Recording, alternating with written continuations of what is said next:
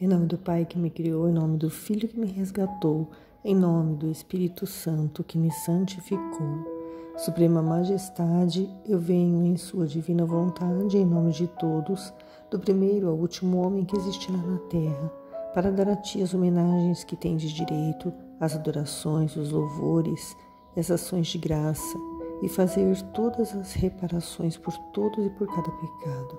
Venho, Senhor, na tua divina vontade. Dou-te a minha vontade humana por meio do imaculado coração de Maria, que possui todos os dons e os frutos da divina vontade.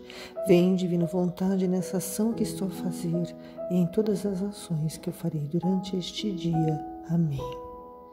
Vinde, Espírito Santo, vinde por meio da poderosa intercessão do Imaculado Coração de Maria, vossa amadíssima esposa. Amém. Em nome do Pai, do Filho e do Espírito Santo. Amém. Meditação do trecho do Livro do Céu do dia 22 de outubro de 1899. A cruz, um caminho cravejado de estrelas. Luísa Picarreta escreveu neste dia. Continua Jesus fazendo-se ver afligido. Assim que chegou, lançou-se em meus braços, todo extenuado, como querendo um alívio. Participou-me um pouco de seus sofrimentos e depois disse-me: Minha filha, o caminho da cruz é um caminho cheio de estrelas. À medida que se caminha, essas estrelas mudam-se em sóis luminosíssimos. Jesus estava querendo falar com Luísa sobre a cruz, né? A cruz, nós já entendemos que a cruz representa sofrimento. Nós temos aprendido desde que nos conhecemos por gente que a cruz é sofrimento. Mas que tipo de sofrimento é? É um sofrimento que Agora eu compreendo que é um sofrimento que nos leva a Jesus, é um sofrimento que nos faz aproximar dele, é o sofrimento que nos faz conectarmos com ele, é o sofrimento que nos faz nos compadecer das outras pessoas que também sofrem.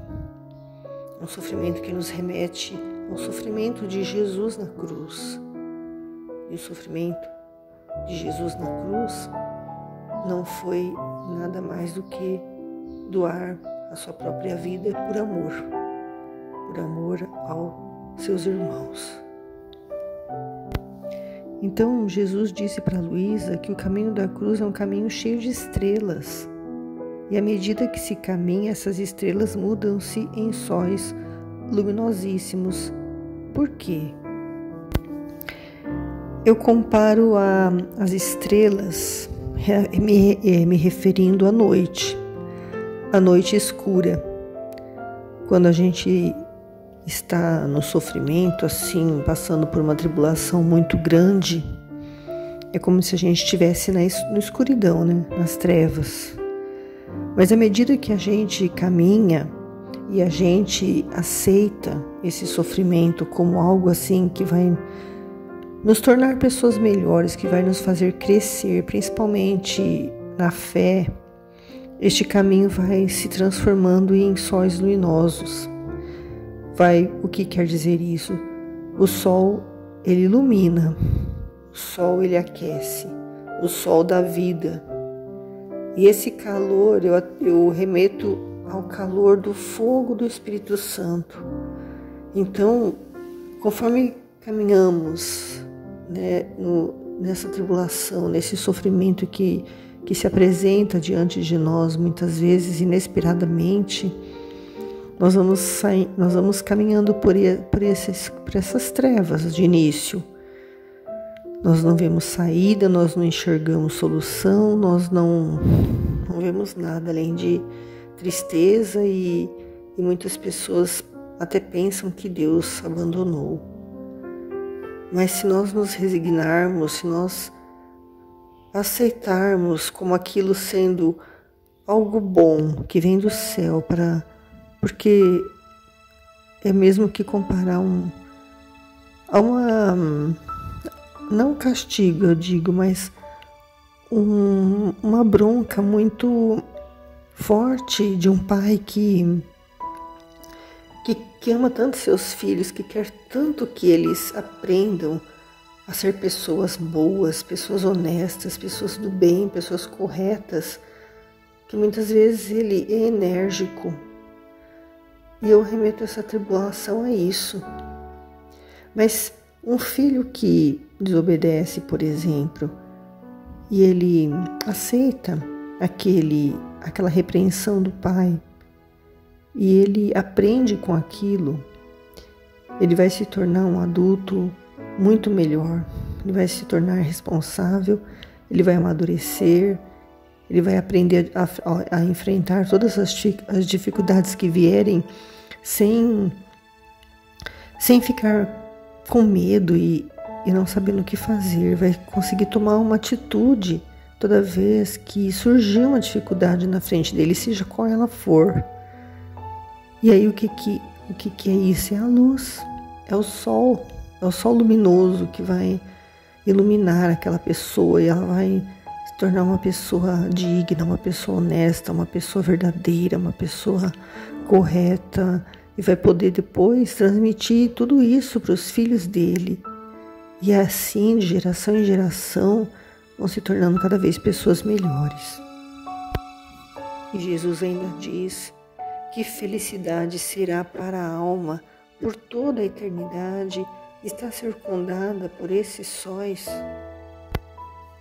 Então, durante toda a vida dessa pessoa, ela vai saber de, de é, enfrentar as dificuldades, ela vai saber ultrapassar essas barreiras, esses obstáculos, né?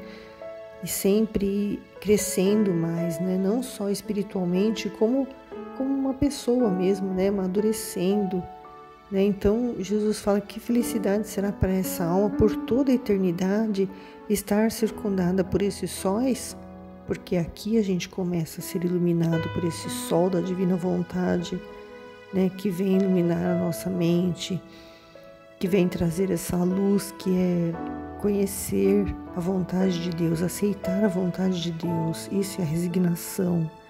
E essa alma, ela vai por toda a eternidade estar circundada desses sóis, dessa luz, né? Porque o sol nada mais é do que do que são luzes, né, que são refletidas. E essas luzes têm o poder de gerar vida. Ela gira, ela gira, ela, ela produz a vida de uma semente. Esse sol, quando a semente é atingida por esses raios de sóis, ela fecunda, ela cresce, ela produz frutos. É esse o objetivo do sol. E o sol que são as luzes da divina vontade, essas luzes também produzem na alma esses frutos, né, que é estar sempre fazendo a vontade de Deus, sempre aceitando tudo que nos acontece como vontade de Deus. E ele diz também, além disso, o grande prêmio que dou à cruz é tal que não há medida, nem de comprimento nem de largura é quase incompreensível às mentes humanas, e isto porque ao suportar as cruzes não pode haver nada de humano, senão todo divino. Então Jesus nos fala aqui de um prêmio, né, que ele dá à cruz. Um prêmio para aqueles que resignam a própria vontade para fazer a vontade de Deus, que aceitam as cruzes do dia a dia. E e esse prêmio que ele dá não há medida nem comprimento, nem de largura, que as mentes humanas não são capazes de compreender, por, por, porque elas suportam, porque elas ao suportarem essas cruzes, não há nada de humano, né? Não somos nós com a nossa capacidade, com a nossa força, com a nossa inteligência que vamos suportar o sofrimento da cruz, não.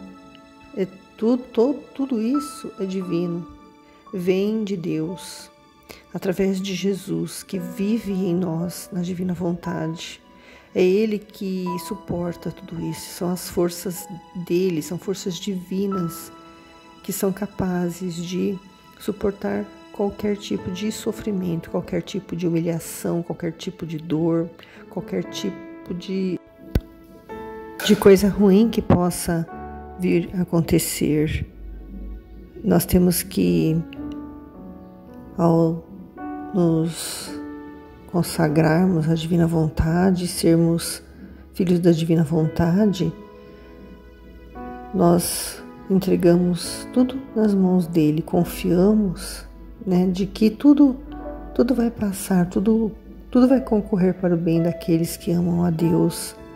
E assim a gente vai poder transformar essas cruzes em sóis luminosos, né, para poder já receber essas luzes aqui, essas alegrias, né, que é saber que a vontade de Deus é sempre melhor para nós, para nós continuarmos por toda a eternidade recebendo essas luzes, essas luzes, né, que talvez não venhamos nunca a compreender, né, como ele diz que que é incompreensível às mentes humanas, né, o, comprimento e a largura dessas cruzes, mas se ele quiser, um dia no céu ele vai nos mostrar, vai nos revelar. Mas, independente de saber, de conhecer, nós temos que desejar já aqui nesta vida, né? Saber que, que cada um tem uma cruz na medida e no peso que a gente suporta carregar e, e nos unir a Ele, né? Ele, ele será o nosso sirineu que vai nos ajudar a carregar as nossas cruzes e, a gente, e vai ficar muito mais fácil, vai ficar mais leve, porque não tem como fugir, mesmo que nós não queiramos aceitar a cruz, vai ser pior, porque vai ficar mais pesada, mais difícil de carregar, vai doer mais. Ela não vai deixar de existir porque nós não queremos. Vai sempre acontecer problemas, tribulações, dificuldades, sempre vão haver na nossa vida. A única diferença é que se a gente aceitar como vontade de Deus, vai ficar muito melhor para poder passar por essa fase. Porque depois vem uma, a bonança, né? Depois da tempestade vem a bonança, como dizem. E aí, na alegria, nós também vamos estar unidos a Ele, né? na alegria e nas coisas boas. Por que não nas ruins? Né? Que seja feita